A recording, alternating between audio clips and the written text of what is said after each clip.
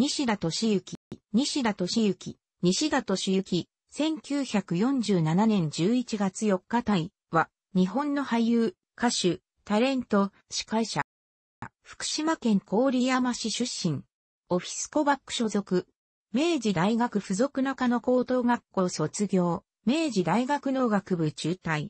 身長166センチメートル、体重80キログラム超。主演の映画、釣りバカ日誌は1988年、昭和63年から2009年、平成21年まで22作続いた代表作。日本俳優連合理事長。日本アカデミー賞組織委員会副会長。4歳年下の夫人との間に二女あり。西田の父方の祖は、泉国博多藩家老職を務めた今池で、幼くして、大阪府泉市出身の父が亡くなり、5歳の時に、薩摩藩士を祖に持つ郡山市内在住のおば、母の姉夫婦の西だけに引き取られた。少年時代は映画好きの養父に連れられ映画館へ通い、チャンバラ映画に熱中。見る側より映画のスクリーンに映る自分の姿をぼんやり無双していた。中学校に入り演劇に興味を持つが、演劇部は女性部員ばかりで、当時男子生徒の部活動といえばスポーツが一般的だった風潮もあり、悶々とした3年間を過ごす。映画で東京弁に触れるうち、俺このままずっとこの多感な時期こっちで暮らしていると、福島弁が染みついちゃって、もしかしたら標準語を喋れなくなっちゃうんじゃないかとの危機感を感じ始め、演劇が好きでも福島弁でしか演じられない現状に自問し、標準語を習得したいと思い始め、両親を説得の上、中学卒業とともに上京。高校に進学すると、バレーボール部に入部。たまたま男子部員がいなくて困っていた演劇部の女子部員から男役として部に協力してほしいと壊れ、顧問のような形で演劇部に参加する。1966年、昭和41年、明治大学入学と同時に日本演技アカデミー夜間部に入る。同年大学を中退して夜間部から昼間部に移り、翌年に卒業。仲間と劇団シアター67を結成するが失敗。ちょうどその頃、1967年、昭和42年に、厚見清の泣いてたまるか、TBS でテレビ俳優としてデビューしている。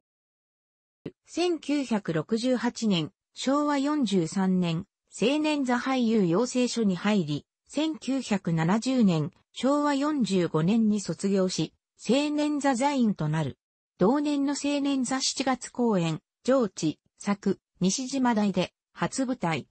1971年、昭和46年の10月公演、写楽校、作、八代聖一では早くも主役に抜擢され大気の片鱗を見せた。その後は役者として不遇の日々を送るが、1976年、昭和51年にレギュラー出演した居心地満点と明蔵女性一匹、共に TBS で注目を集め、森重久也のアドリブにも堂々と渡り合う、高難自在で個性的な演技と愛嬌のある顔立ちや体型で人気を獲得。1977年、昭和52年には特捜最前線、テレビ朝日。1978年、昭和53年には、最有機、日本テレビに重要な役でレギュラー出演。さらに1980年、昭和55年には、地中元太市80キロ、日本テレビと、サンキュー先生、テレビ朝日で主演、翌1981年、昭和56年にも NHK 大河ドラマ、女対抗期で準主役を務めるなど、連続ドラマで活躍。また、歌手活動も精力的に行い、1981年、昭和56年4月に発売した、もしもピアノが弾けたなら、地中元太市80キロ第2シリーズ主題歌は大ヒットとなった。なお、NHK 紅白歌合戦において、基本の4パターンである、司会、歌手、審査員、応援、ナレーションを含めると5パターンすべてで、出演経験があるのは西田のみである。素朴で飾り気のないキャラクターやトーク、アドリブのうまさ、コメディアンエンターテイナーぶりは、バラエティ番組やコント番組でも注目され、見頃、食べ頃、笑い頃をはじめ、数多くの番組に出演、その他司会など、演劇活動以外でもマルチな才能を発揮している。1986年、昭和61年、映画、上村直樹物語に主演。西田にとっては、明大農学部の先輩で、映画公開の2年前、1984年2月に、マッキンリーで消息を絶った冒険家、上村直樹を演じた。この作品では、モンブラン、フランス、エベレスト、ネパール、中国、マッキンリー、北極など上村の足跡を追う後大陸ロケを観光。話題となったが、7ヶ月に及ぶ長期ロケは過酷なもので、西田は死を覚悟して臨んだ。実際に大自然と対峙し、つくづく抗えないことがあるんだと痛感させられました。同時に、大自然の中に身を置いて、芝居をするという経験が、僕に言葉にはならない、いろんなものを与えてくれたという意味で、エポックメイキングになった作品だと思いますと、自身にとって大きな転機となった作品だとしている。2年後の1988年6月公開の映画、トンコーでも長期の現地ロケに参加。一時は局地俳優の異名を取った。1988年、昭和63年から映画、釣りバカ日誌シリーズに出演。三国連太郎とのコンビで最終の第20作、特別編2本を入れると22作まで約22年に及ぶ長期シリーズとなり、自身の代表作の一つとなった。ちなみに、西田の映画初出演作品は、三国主演のボロの旗、監督、吉村幸三郎、足尾銅山鉱毒事件を題材にした作品、1974年で反体制派農民の一人、多々良自兵という役だった。1994年、平成6年、東方ミュージカル、屋根の上のバイオリン弾きで、森重久や上条恒彦に次ぐ三代目手ビエ役に抜擢、その後7年にわたり出演している。2000年、平成12年、ネイチアリングスペシャル、風雪の聖地アンデス縦断4000キロ、西田敏行53歳米大陸最高峰、アコンカグアに挑むマイナス、テレビ朝日、2001年5月28日放送の収録のため、南米最高峰アコンカグア、標高6、962メートル登山に挑戦している。この当時、焼肉とビールをこよなく愛し、退職間で大酒飲みでありながら、運動といえば数ヶ月に一度のゴルフ程度の上、1日の喫煙量は80本以上のヘビースモーカーという生活で体重は 94kg。そのため、中性脂肪が人並み外れて高いなど、身体的な不安材料を抱えながらも、8月からネパールでのコーチトレーニングを開始。11月上旬にアタックを開始したが、強風や低温など天候に恵まれず、スケジュール的に無理と判断。高度6830メートル地点で登頂を断念している。なお、上村直樹物語の撮影以来、知己の関係である小西博文を登山隊長に迎え、国内有数の登山家がサポーターとして同行した。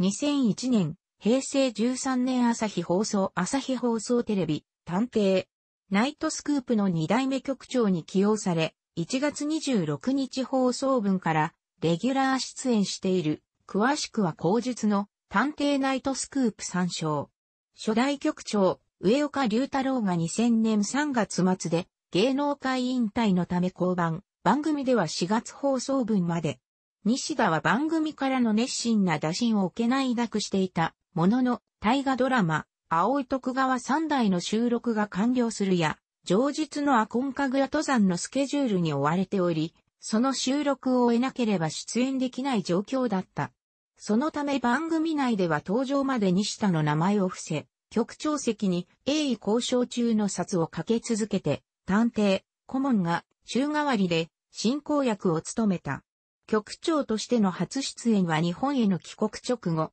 そのまま ABC ホールに直行しての収録となり、ニットシャツにジーンズ、顔中に武将髭を蓄えたワイルドないでたちでの登場となった。同年11月7日、首の骨が変形し、頸椎の神経が圧迫され、手足が痺れる、頸椎性脊髄症を患い入院。15日に神経圧迫部位を除去する手術を行い、翌月には退院、復帰している。2003年、平成15年3月3日夜、自宅で心筋梗塞のため倒れ緊急入院。処置が早く、症状も安定していたため28日には退院している。上述の通り肉食中心の生活でヘビースモーカーだったが、入院中、吉永さゆりから手紙をもらい、そこに書かれていた、タバコだけはやめてね、西安の言葉に、一年発起し禁煙宣言した。また体重も 82kg まで減量した。復帰後のインタビューで、ここで死んだ来作のタイトルが、ゲロッパになるが、それだけは避けたかったとこの時の出演映画の告知とユーモアを交えたコメントを述べ、全開をアピールしている。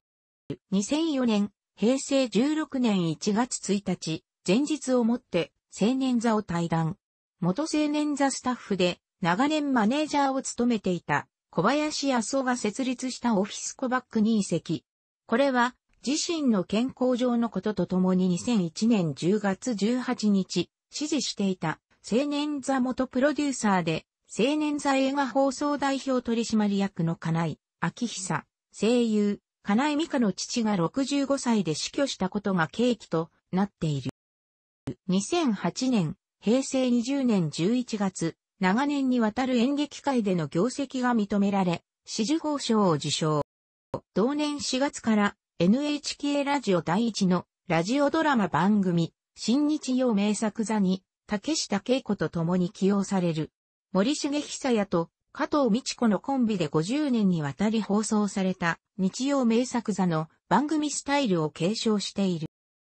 2009年、平成21年には、里見光太郎の後を受け、日本俳優連合第5代理事長に就任。俳優の資質や地位の向上、権利問題などにも取り組んでいる。2010年、平成22年3月、釣りバカ日誌シリーズで22年の長きにわたり、国民に笑いと感動を与え続け、日本映画界へ残した数々の功績を称えられ、三国連太郎と共に第33回日本アカデミー賞、会長功労賞を受賞。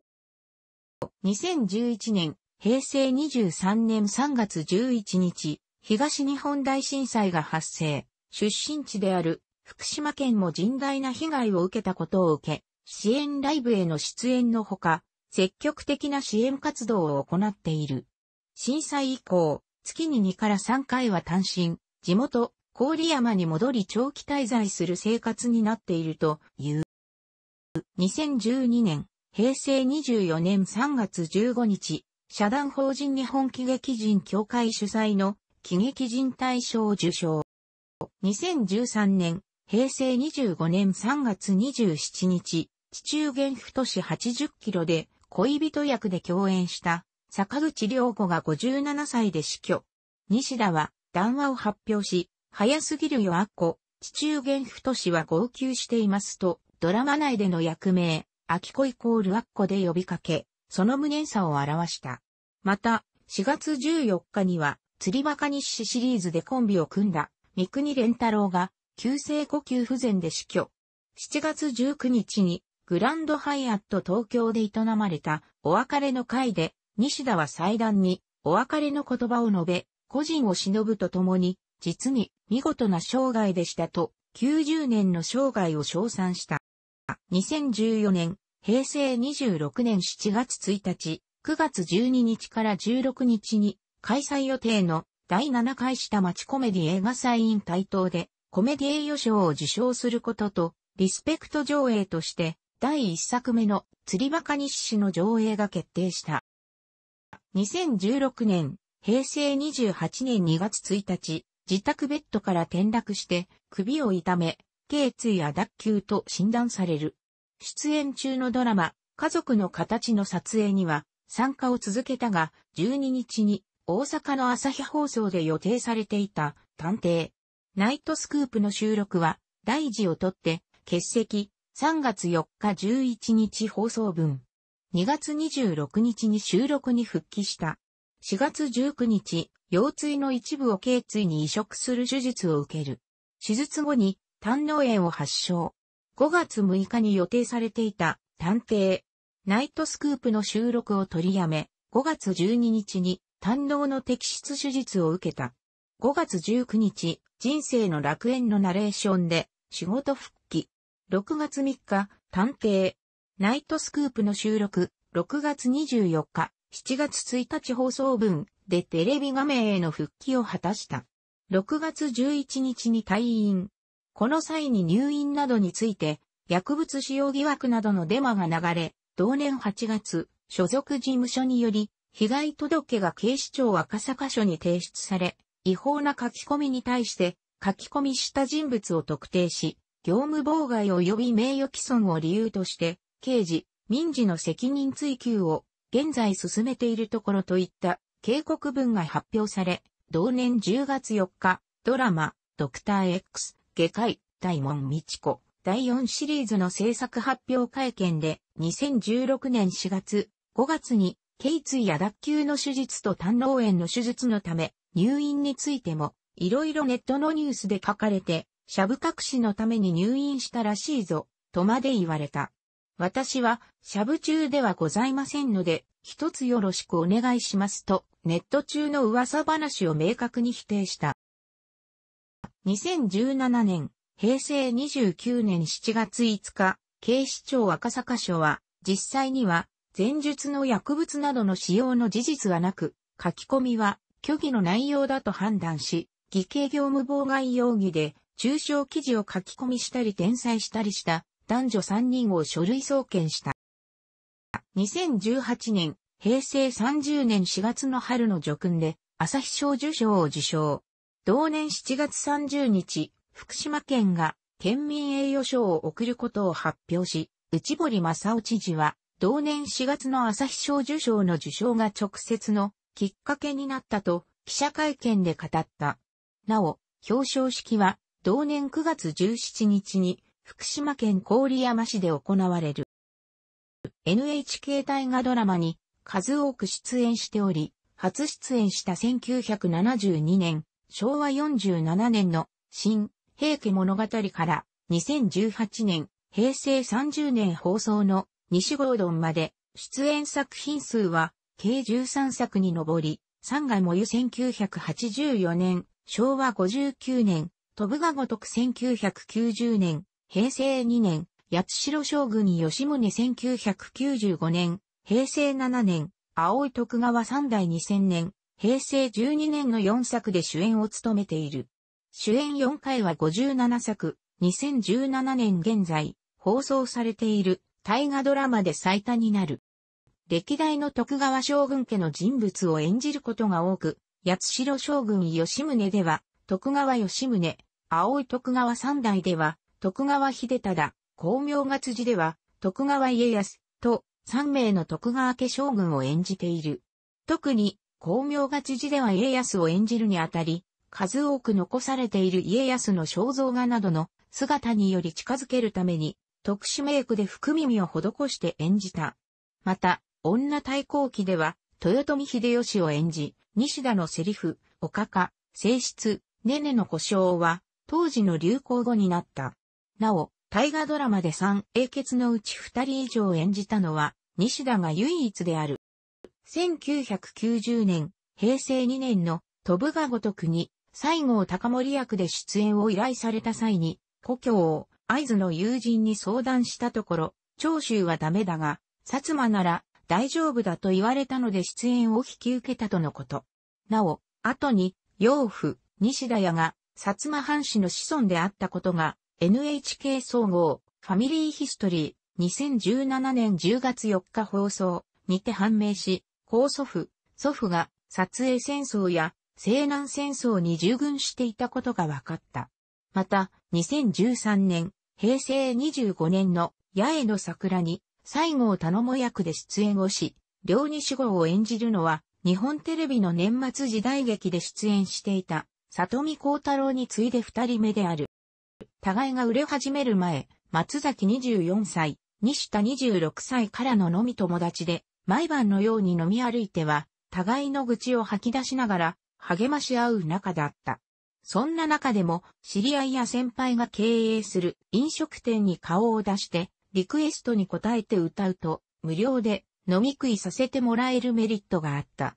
そうした中で出来上がったのが客の出す三つのお題を入れて即興で歌を作るという落語の三大話のようなネタ。松崎は元より西田も歌唱力と音楽的センスがあったため、二人の即興デュエットは当時の六本木界隈では有名になった。その噂を聞きつけた TBS のスタッフが二人を進行役に起用したテレビ番組がハッスル銀座1975年だった。この番組では視聴者から寄せられるハガキのエピソードをもとに即興で歌を作り披露するコーナーが評判となった。この番組出演が契機となり、翌1976年には松崎は愛のメモリーが CM に起用され、スペインのマジョルカ音楽祭最優秀歌唱賞を受賞すると注目され始め、西田は TBS のドラマ、明蔵女性一匹への出演などを経て、その主役を食うほどの演技力が高く評価される。さらに翌1977年には共にブレイクし、人気を不動のものにしていく。以来、進行は続き、現在でも無二の親友同士である。また、この松崎に加え、柴敏夫、田中健、志垣太郎も当時からの親密な友人で、家族ぐるみで親交がある。即興ソングは、現在でも松崎、西田の18番ネタである。武田鉄矢とも親交が深く、ネットテレビ朝日、見頃、食べ頃、笑い頃、1976年10月から1978年3月の番組中のコントで初共演し、二人でコーナーを担当するようになって、以来、家族ぐるみの中である。プロ野球は福島県出身ということで、東北楽天ゴールデンイーグルスファイクラブ名誉会員として名を連ねているが、自身は大の阪神タイガースファン、阪神ファンである。2006年5月には甲子園球場で行われた阪神対ヤクルト戦にて始球式を務めている。1979年、昭和54年には石井久一原作のアニメ映画、頑張れ、田淵くんで、主人公の田淵くんの声を担当した。プロ野球、阪神タイガースのファンで、頑張れ、田淵くんの田淵役を演じたことから、映画のモデルである田淵光一と今日まで長く進行を続けている。ちなみに、探偵、ナイトスクープに元阪神の田淵がゲスト出演するのはこの縁からである。番組の局長、司会者になって以来、番組以外でも局長と呼ばれることが増えている。起用された理由は、同番組の大ファンだったから。同番組では、関西弁混じりで話し、非常に涙もろい一面が伺え、依頼内容に少しでも感動的な要素があると、ほぼ漏れなく涙を流している。そのあまりに涙もろい点から、大阪で移動にタクシーを利用すると、運転手に、なんで、あれで泣くの？と聞かれることがあるという。イメージ的に、いい人的な役回りが多いため、白い巨頭では金に物を言わせて、根回しをする悪役を演じるにあたり、意地汚いイメージを出そうと西田の提案により、つけひげにカツラを着用して演じた、作中で、カツラ着用者という設定。制作発表の席で、ダジャレ混じりで、私の役名は財前また一致ですので、財前ヌートは読まないでください。と、笑いを誘った。それから4年後には、白い巨頭と同じ、山崎豊子原作の、華麗なる一族にまた一と比較して、いい人である、大川一郎役で出演している。この役は、また一と同じく、主人公万病、鉄平、縁、木村拓也の妻の父、いわゆる義父である。また、タクシーに乗る際に共演者である、勝村正信が顔バレしないか心配し、気を使ったが、西田がドライバーに、俳優の西田敏行ですと語ったことがある。打ち上げなどでは、即興ソング以外にも旺盛なサービス精神と芸達者ぶりを披露し、周囲を笑いに巻き込んでいる。持ちネタとして、エルビス・プレスリーや丹波哲郎のモノマネなどがあり、最近ではシャンソン風、与作、北島三郎の与作のカラオケに合わせて、デタラメなフランス語を駆使して、シャンソン風に歌い上げる。シャンソン風なので、サビの部分は与作をピエールに変え、語りかけるというものが、スマップスマップなど、ゲスト出演したバラエティ番組で紹介されている。学研の小学生向けに書かれた自伝にて、自らの母について語っており、幼少期に風邪をひいて寝込んでいると、鼻が詰まり眠れずにいたら、母が西田少年の鼻に口を当てて、鼻水を吸い取ったエピソードを引用し、母親の偉大さとありがたみを子供たちに伝えた。福島生まれだが、高校から東京にいるため、あまり東北弁は話さない。しかし、東北弁が出ることもある。アウトレージビヨンドでは、東北出身者ながら、河内弁で芝居をしていた。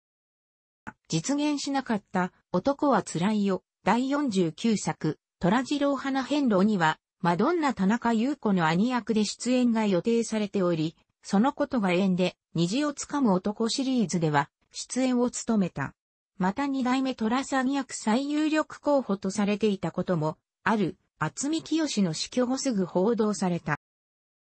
東日本大震災の後に、中畑清らと共に復興応援 CM に出演していた。2011年4月2日、故郷の福島県郡山市のスーパーで、県産の野菜やイチゴ、キュウリなどを食べて安全性のアピールに一役買った。この時涙に目を潤ませながら、美しい福島を汚したのは誰だ誰が福島をこんなにしたんだ？本当に本当に腹が立つ。福島はどんなことがあっても負けねえぞ。と絶叫した。4日には、早朝から TBS 系、ミノモンタの朝ズバ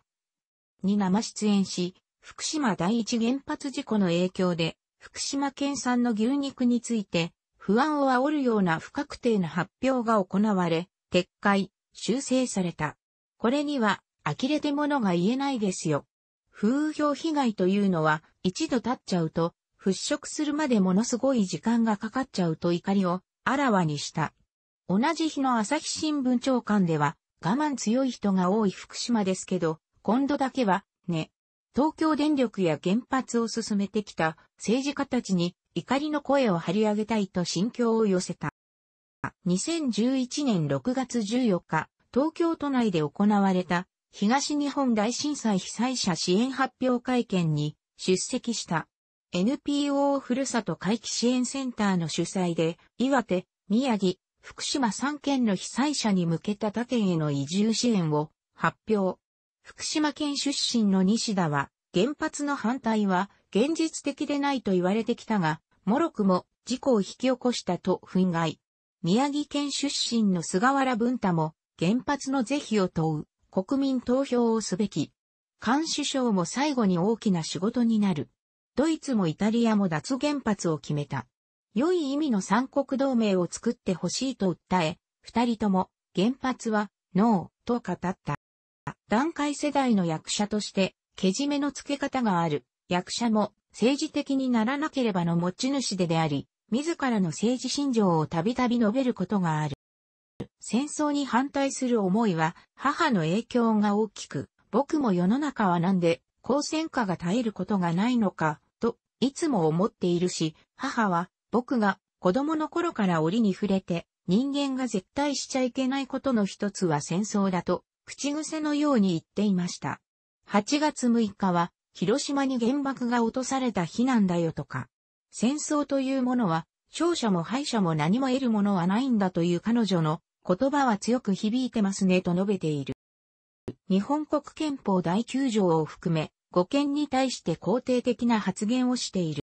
中国との交流も深く、フジテレビの日中国交回復15周年記念中国大秘境世界初公開。幻の彩域パンダと最遊記の里の中国での取材や映画、敦煌の中国でのロケを機に、西田は1987年に日本中国文化交流協会に入会。